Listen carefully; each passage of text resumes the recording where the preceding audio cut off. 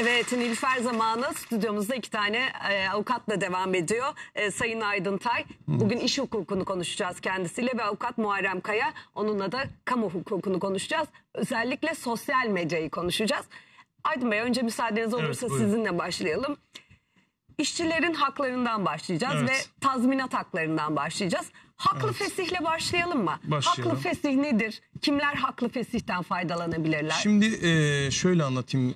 E, 4857 sayılı iş hukukuyla, iş kanunuyla beraber e, bu kanun hem işçiye hem de işverene e, ciddi bazı başlı haklar vermiştir. E, ama bu hakların hem işçi açısından hem de işveren açısından düzgün bir şekilde kullanılmasıyla beraber ortaya çıkabilir. E, fakat gerek ekonomik açıdan gerek işçi açısından yani işçinin bilmemesi, işverenin bilmemesi ortaya ciddi bir e, uyuşmazlık çıkarmakta. Yani e, tarafların birbirinin hukuki menfaatini veya hukuki yararını ciddi bir şekilde suistimal etme durumu ortaya çıkıyor.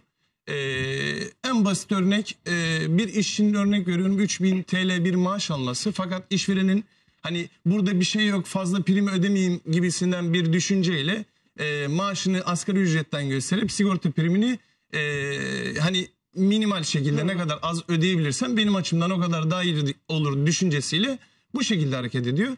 Fakat burada işçinin haklı nedenle bir fesli durum ortaya çıkmamasına rağmen işçi bunu e, şu şekilde kullanabiliyor. Ya benim primlerim eksik yatırılıyor. Hani ben çıkmak istiyorum bu işten ama bir tazminat almak istiyorum.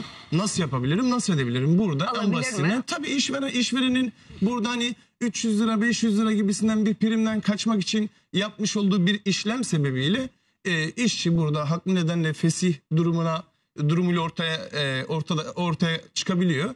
Haliyle işçi burada e, sözleşmesini haklı nedenle feshedebiliyor ve e, ciddi e, iş kanunu kapsamında e, tazminatlarını alabiliyor. Kıdem tazminatını da Tabii. alabilir mi? Eğer Kıdem uzun ta- haklı oradaysa. nedenle haklı nedenle e, fesih bildiriminde bulunduğu takdirde e, kıdem tazminatı e, fazla mesai yani fazla mesaisi varsa belli başlı bazı hakları var o hakları alabiliyor ama işçinin tek taraflı olarak haklı nedenle fesih etmesi durumunda İPAR sadece İPAR tazminatını İ- İPAR tazminatına kazanamıyor. Evet. Biraz sosyal medyaya dönelim hemen Muharrem Bey'e dönelim. Ee, biz sosyal medyayı evet böyle e, neşe kaynağı olarak kullanıyoruz kimimiz. E, kimimiz işlerimiz için kullanıyoruz. Ama bazen sosyal medyada da e, çok rencide olabileceğiniz, e, kişilik haklarınıza veya e, iş haklarınıza aykırı olabilecek durumlar söz konusu. Artık sosyal medyanın bu hukuki sınırları çizildi mi Muharrem Bey? Ee, genel olarak büyük bir mücadele var çünkü sosyal medyada çok fazla suç işleniyor şu anda. Bunun nedenleri arasında e, insanlar teknolojiyle ilgili bir toplumsal bilinç oluşturamadan herkes bir sosyal medya hesabı açtı. Herkesin elinde akıllı telefon var. Dolayısıyla bilgiye ulaşmak çok kolay. Herkese ulaşmak çok kolay. Yani bu programdan sonra benimle ilgili bile tweetler atılacak. Bu, bu bir gerçek. Ee, bu bunun bunun Buna göğüs gererek çıkıyoruz Yani, canlı evet. yayınlara değil mi? Hepimiz için bu bunun, geçerli. bunun neticesi olarak da işte e, bazı paylaşımlar yapılıyor. Bu paylaşımları beğenmeyebiliyoruz. Beğenmeyince de e, sert tepkiler, e, sinkaflı kelimeler vesaire. Hatta hakaretler Evet. istemiyoruz ama küfürler bile oluyor. Özellikle siyasetçi ve ünlü camiasından arkadaşlarımız çok fazla mağdur, mağdur kalıyorlar bu duruma. E, başka ticareti yapanlar, telefon dolandırıcılarının banka hesaplarını kullanarak yani bankanın resmi hesabıymış gibi göstererek yaptığı dolandırıcılıklar, e, bunlarla ilgili mücadele eden hesaplar da var. E, özellikle İstanbul Emniyet Genel Müdürlüğü Siber Suçlarla Mücadele Birimi bu iş için sadece bir ekip oluşturdu. E, kendi Ne kadar büyük ve yaygın bir şey demek ki değil mi? Evet, başka türlü önünü alamıyorlar çünkü. Ee, bu iş için oluşturduğu ekip sadece yapılan paylaşımları inceleyip suç unsuruna rastlarsa bununla ilgili işlem yapıyor. En fazla karşılaştığımız suç tipi de hakaret. Ee, biraz ondan bahsedeyim isterseniz. Ee, Tabii. hakaret şerefe karşı işlenen suçlar bölümünde düzenlenmiş bir suçtur. Ee, kişiye fiil istat etme, e, şeref ve saygınlığını küçük düşürme ve sövme fiilleriyle oluşabilir. Ee, hakaret ettiğimiz zaman 3 aydan 2 yıla kadar hapis cezası Oo, 3 aydan 2 yıla kadar. evet ya da adli Epeyce. para cezası şeklinde cezalandırılma durumumuz söz konusu. Peki hakarete uğradık e, dediğiniz gibi. E, ciddi bir hakarete uğradık. Kime başvuracağız? Bu ne davasına girer? Bu bir e, bu e, şikayete bağlı bir suçtur E, ama ceza hukukunu ilgilendirdiğinden kamu hukuku davasıdır bu aslında. E, suç duyurusunda bulunmamız gerekiyor. Savcılığa giderek e, bulunduğumuz yer savcılığına giderek suç duyurusunda bulunmalıyız. Hakarete uğradığımızdan dolayı şikayetçi olduğumuzu söylememiz gerekiyor.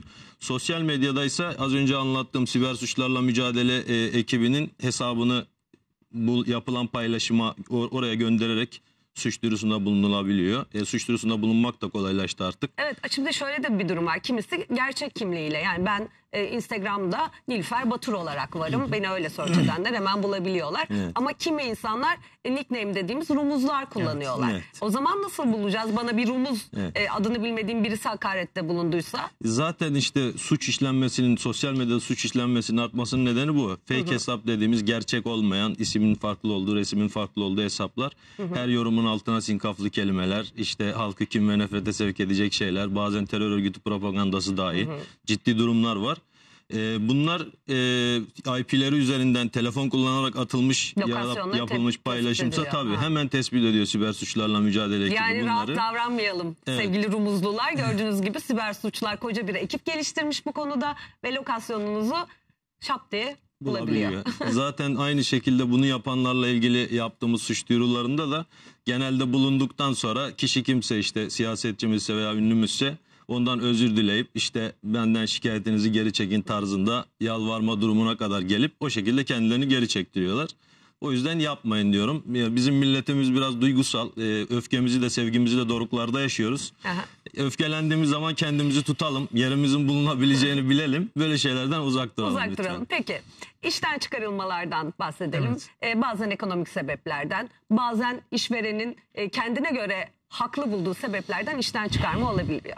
Ee, burada e, çıkarılan kişinin nasıl davranması lazım? Yani özellikle o evrakların imzalanmasında, tazminatının hesaplanmasında. Yani o süreç Ya şimdi komplike e, bir süreç. Evet, yani e, o noktada Yargıtay'ın iştahat haline gelmiş kararları e, işverenin bir tazminat ödemesi yani düşük bir tazminat. İşçi diyor ki yani ben çıktım tamam cüzi bir miktarda işveren bana bir tazminat ödedi. Fakat e, alacağı tazminat ile e, işverenin vermiş olduğu tazminat arasında ciddi bir Dağlar kadar e, fark. tabii dağlar kadar fark var. E, işçi burada e, yani işveren tarafından bir fesih bildiriminde bulunduğu takdirde işçinin burada bir kıdem tazminatı, ihbar tazminatı, fazla mesai ücreti varsa fazla mesaisi, fazla mesai ücreti, hafta tatil ücreti, ulusal bayram ve genel tatil ücretleri gibi birçok hakları vardır. Ee, işçi işveren tarafından haklı hak, iş- işveren tarafından tek taraflı bir fesih bildirimiyle karşı karşıya kaldığı takdirde e, ortaya daha ciddi problemler ortaya çıkmaması için işçi açısından telafisi mümkün olmayan zararlar doğurmaması için bir iş hukuku uzmanı avukatla veya hani bilen birisiyle e, bir adım atması onun için daha sağlıklı Evet. olacaktır. E, peki işverenin işçiyi çıkarmadan ne kadar süre önce ihbar etmesi, haber vermesi gerekiyor? Bu işçinin e, ilgili iş yerinde çalıştığı yıl e, dikkate alınarak hesaplanır. Hı. Tabii. Standardı yok Örnek bunun. veriyorum ya 4 ay bir çalışması var işçinin. Burada işveren 2 hafta öncesinden veya i- işveren eğer fesih edecekse 2 hafta öncesinden bir bildirimde bulunması lazım. İşte kendine yeni bir iş bul. Hani artık çalışmayacağız e, diye. E, aynı şekilde işçi çıkmak Heh, onu da istiyorsa soracaktım, yine aynı evet. şekilde yani o e, ihbar süresi süreleri işçi açısından da geçerli. İşçi e, işveren ile daha fazla devam etmek istemiyorsa e, haklı bir gerekçesi varsa e, tazminatını da almak istiyorsa yine dediğim gibi ihbar sürelerine uyduktan sonra e, işverene ihbar süresini bildirecek ve ben çıkmak istiyorum diyecek. Burada işveren açısından şöyle bir husus da söz ortaya çıkıyor. E, işçinin hiçbir haklı, haklı bir nedeni söz konusu değil ama ben çıkmak istiyorum diye. işten ben çıkmak istiyorum diye. Burada işveren açısından şöyle bir durum da ortaya çıkıyor. Yani karşı karşıya kalmış olduğumuz e, dosyalarımız, davalarımız da var. İşçi ben çalışmak istemiyorum diyor. Biz bir gün sonra gitmiyor. E, orada tabii işverene ihbarda bulunması gerekirken hiçbir şekilde ihbarda bulunmuyor. Çıkıyor gidiyor. E, burada işveren tabii haliyle ihbar tazminatına yönelik olarak işçiye dava açıyor. Tabii. Tabii. Bunların önüne geçebilmek için dediğim gibi yani bir iş hukuku uzmanı bir avukatla adım atıldığı takdirde işçi açısından riskonun minimum minimum seviyeye inerek eee, tazminatını hak kazanacaktır. Evet. Hemen size